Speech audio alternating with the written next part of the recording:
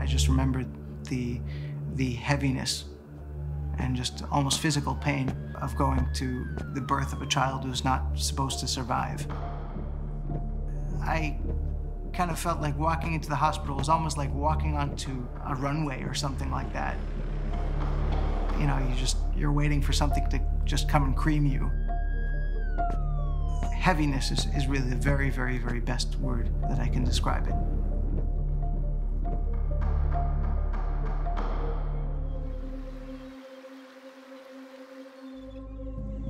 My wife was pregnant with our sixth child, and she went to her 30 week ultrasound.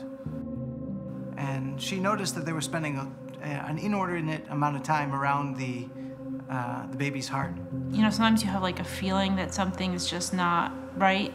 Definitely had that feeling, but they wouldn't say anything to me. And then in the parking lot on the way home, you know, I called Ellie and I told him. And a little while later, probably half hour, 45 minutes later, the nurse called me and she said there are major defects in the baby's heart. When I pressed her, I wanted to find out if the baby's viable. She said, no, I don't think so.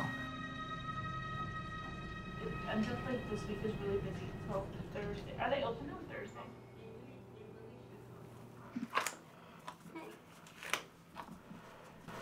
So it's interesting. This foot, there you go, that's better. Maybe he was just tensing up on it. Seemed a little more tense than the other one. Do you stand him in a stander?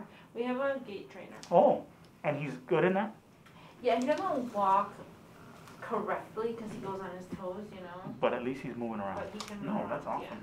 That's awesome. He loves it, right? So when the baby was born, he cried. And that was quite surprising. And that was the first little piece of good news that we had had in several weeks.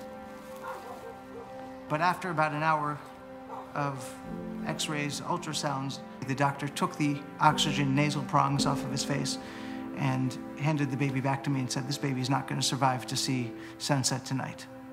And I remember looking at this baby who's slightly violet and saying, Come on, kid, make it past sunset.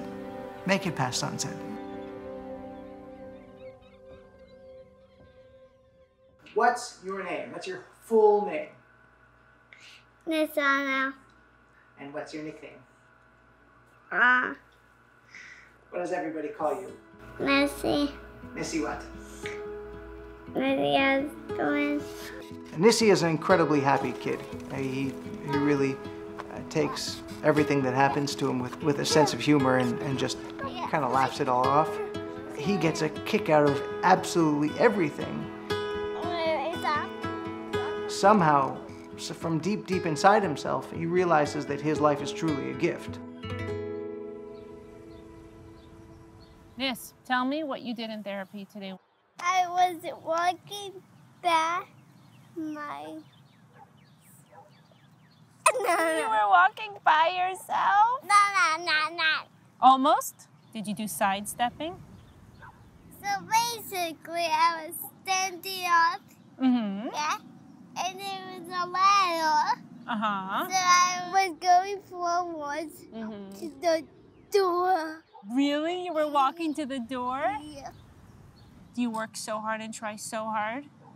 And you always are smiling about it and happy about it? Does that make me so proud and Tati? And one day you're gonna learn how to walk? It's gonna be awesome.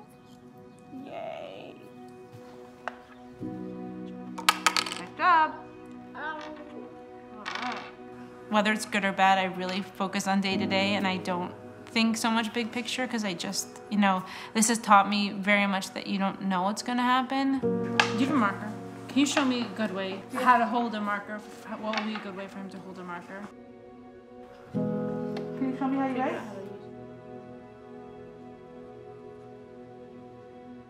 My end goal for him is independence in whatever way it's going to be.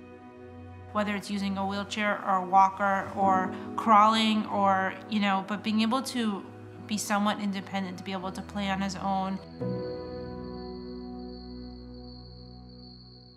When they're talking about progress, what exactly does it look like? It, we're- are we talking about actual walking independently? Or are we talking about walking with a walker? They told me that his degree of disability of cerebral palsy, quadriplegic.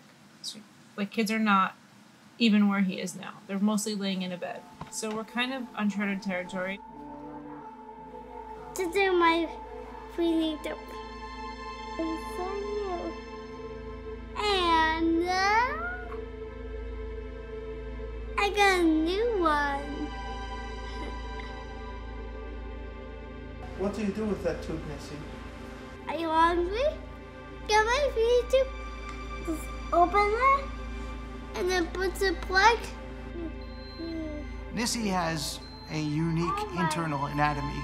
He has a single right ventricle. Besides, for that, he has a unique GI system, so his Good stomach has a unique shape. So his internal organs are kind of all convoluted. There's two parts of it. There's the cardiac health stuff, and then there's the physical mobility stuff and the cerebral palsy that he has. That's another struggle that he has to deal with. The possibilities are all one large question mark. Do you ever feel bad for him? Yes. Um, you feel bad for your child anytime your child is not able to succeed at something. And you feel even worse for a child who is not able to join the rest of his his peers in whatever it is.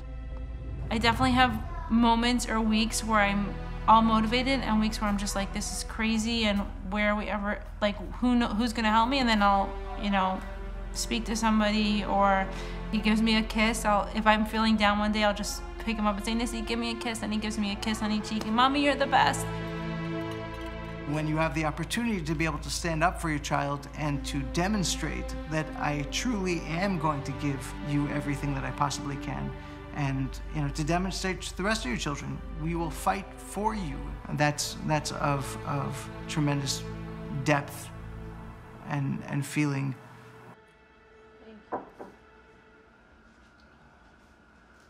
Do you? Yeah, where, where do you want to put it? Oh, oh, Here? Listen, listen me out. Like that?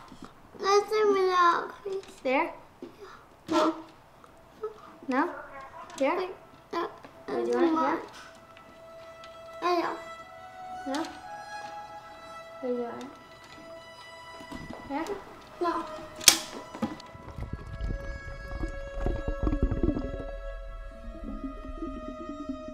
One of the heart surgeons had been actually inside his chest. He said, "We still don't know how your son survived."